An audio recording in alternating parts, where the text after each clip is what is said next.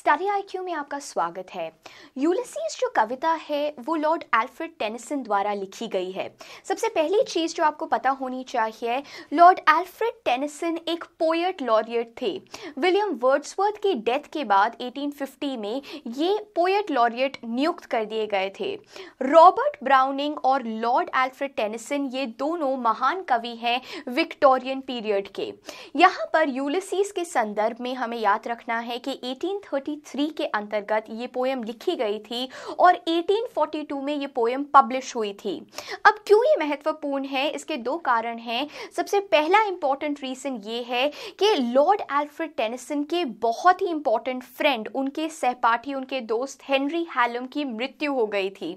और इसीलिए वो इस पोएम में दर्शाना चाह रहे थे कि उनकी फ्रेंड की मृत्यु के बावजूद भी वो लाइफ में आगे बढ़ने की कोशिश कर रहे हैं। और दूसरी चीज़ क्योंकि ये ग्रीक लिटरेचर से इंस्पायर्ड है। ये ग्रीक लिटरेचर के एक इंपॉर्टेंट कैरेक्टर ओडिसियस जिसको, जिनको हम रोमन लिटरेचर में यूलिसीस के नाम से जानते हैं, उनके ऊपर बनी है। विक्टोरियन एरा 1837 से लेके 1901 तक था, जहाँ पर क्वीन विक्टोरिया ने रूल किया था, और उसी के ही समय में, उसी, उन्हीं के ही कार्यकाल में ये कविता लिखी गई थी। यूलिसीस अब यूलिसीस कौन है? यूलिसीस हमारे ट्रोजन हीरो है। ट्रोजन वॉर, जो कि 10 साल का वॉर था बिटवीन ग्रीस एंड ट्रॉय ये दो जो लोग थे जो लड़ रहे थे, और इन दोनों के बीच में जो 10 साल का वॉर हुआ था, उसे हम ट्रोजन वॉर कहते हैं। और यहाँ पर एक ग्रीक हीरो जो बहुत ही फ़ेमस हो गए थे, वो थे ओडिसियस ओडिसियस जो हैं, इनको हम रोमन मिथोलॉजी में, जैसा हम लोगों ने कुछ देर पहले देखा, उन्हें हम यूलिसीस कहते हैं।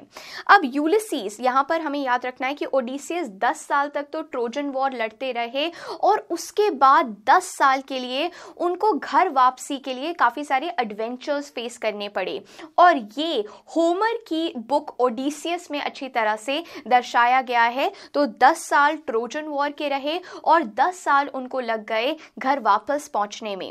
ये पोएम तब लिखी गई है जब वो अपने घर वापस आ गए हैं एथिका में। एथिका में उन्होंने प्रवेश कर लिया है और उनकी वाइफ पेनेलोप जिनको काफ़ी वर्चुअस वाइफ माना जाता है। वो उनका इंतज़ार कर रही है लगभग 20 सालों से और उनका सन टेलीमैकस बड़ा हो गया है। अब इस पोएम के बारे में जो आपको एक चीज़ याद रखनी है, वो है इसका फॉर्म ये ब्लैंक वर्स में लिखा गया है और ये ड्रामेटिक मोनोलॉग के फॉर्म में है।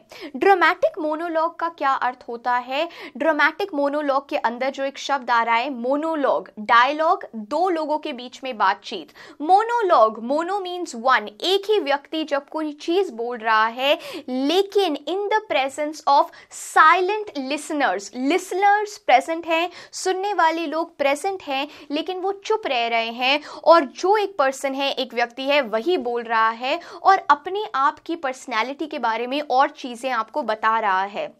विक्टोरियन एज में रॉबर्ट ब्राउनिंग एक बहुत ही प्रसिद्ध ड्रामेटिक मोनोलॉग के कवि बन गए थे, लेकिन टेनिसन की Ulysses is also considered to be a masterpiece T S Eliot जो कि मॉडर्न एज में आते हैं, जिन्होंने वेस्टलैंड लिखा है, उन्होंने अपने ऐसे में भी लिखा था कि Ulysses is a perfect poem 1929 में टी एस इलियट ने लिखा था Ulysses is a perfect poem so ये ड्रामेटिक मोनोलॉग है जहाँ पर यूलिसीज अपने बारे में में ही बता रहे हैं। वो चाहते नहीं है बताना लेकिन वो बात करी जा रहे हैं अपने मैरिनर्स के साथ।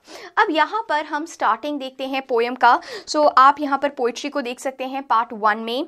It little profits that an ideal king by the still hearth among these barren crags matched with an aged wife I mete and dole unequal laws unto a savage race that hoard and sleep and feed and know not me यहाँ पर ये opening lines बहुत important है। तो जैसा हम लोगों ने कहा कि यूलिसीज अब 10 साल ट्रोजन वॉर लड़के 10 साल का एडवेंचर करके 20 साल के उपरांत अपने होम टाउन एथिका वापस आ रहे हैं। वो बहुत ज़्यादा बोर हो चुके हैं, बहुत ज़्यादा डिससेटिस्फाइड हैं, उन्हें बहुत ज़्यादा डिसकॉन्टेंटमेंट है। और वो, ये जो पब्लिक एडमिनिस्ट्रेशन के कार्य हैं, जैसा कि आप इस लाइन में देख सकते हैं matched with an aged wife aged wife यहाँ पर पेनेलोप की बात हो रही है।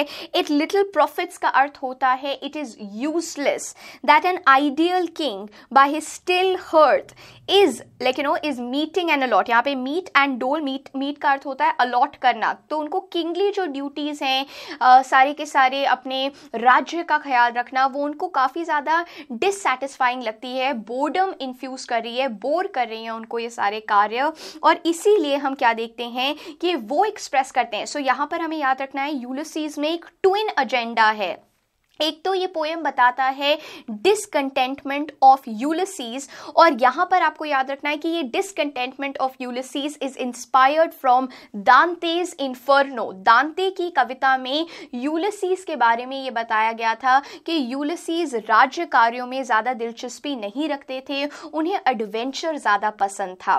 सो so, ये चीज़ आपको ध्यान रखनी है। सो so, इस पर्टिकुलर फ़र्स्ट स्टैंडा में हमें पता चल जाता है कि यूलिसीज डिससेटिस्फाइड है डिस डिसकॉन्टेंटेड है डिसकंटेंटेड है और वो चाहते हैं कि वो दोबारा से सेल करें। वो चाहते हैं कि वो दोबारा से कोई एडवेंचरस टास्क परफॉर्म करें।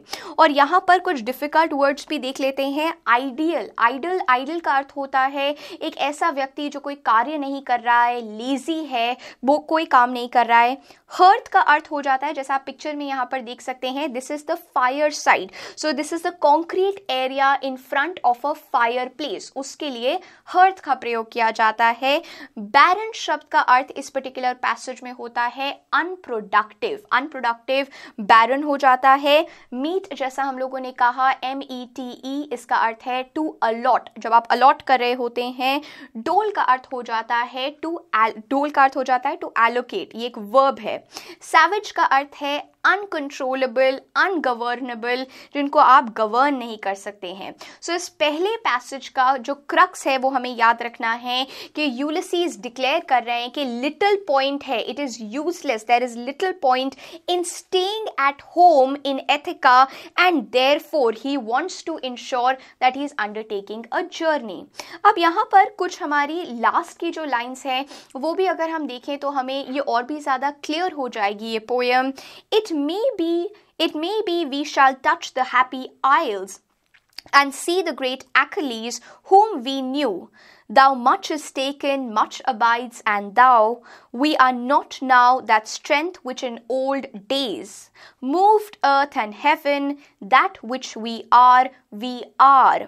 One equal temper of heroic hearts, made weak by time and fate, but strong in will, to strive, to seek, to find and not to yield. ये लास्ट लाइन बहुत ही important lines हैं ये काफ़ी inspiring lines भी हैं और जैसा हम लोगों ने शुरुआत में कहा था कि यूलिसीज तब लिखी गई थी जब टेनिसन की दोस्त की मृत्यु हो गई थी, जो बहुत करीबी दोस्त थे उनके उनके कॉलेज के फ्रेंड थे। जब उनकी मृत्यु हो गई थी तो वो यही बोलना चाह रहे थे कि even though my my beloved friend has passed away I need to ensure that I am going on living right so तभी to strive to seek to find and not to yield not to succumb to any sort of grief यहाँ पर कुछ कुछ चीज़ें जो हमें ध्यान में रखनी है कि लास्ट में ड्रामेटिक मोनोलॉग के अंतर्गत यूलिसीज अपने मैरिनर्स से बात कर रहे हैं।